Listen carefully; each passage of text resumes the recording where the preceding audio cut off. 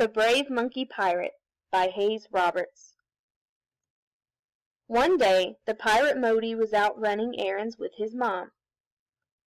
They shopped for groceries and ate peas at his favorite restaurant. Then the pirate Moti's mom said, "Oh, yes, we need to stop off at the doctor's office for a quick check up."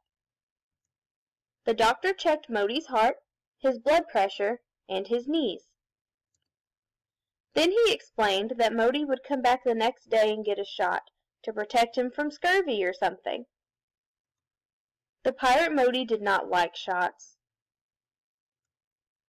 That evening his father came home and Moti told him all about the visit to the doctor.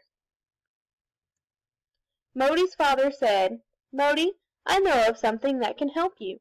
Take this map and my fastest pirate ship and find it.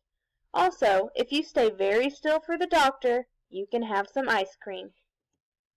So Moti followed the map through the wildest seas, and climbed up volcanoes filled with fiery lava, and sneaked past creatures so terrible that they will not be described in this book, until he reached an icy castle at the top of the mountains. Inside, he found a great crab wizard on a crab wizard throne. The crab wizard spoke these words, Monkey pirate, because you have braved many obstacles to get here, I will give you this rock.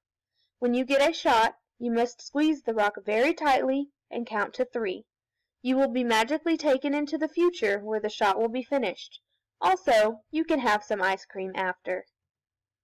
The pirate Moti thanked him and sailed back home to get some sleep.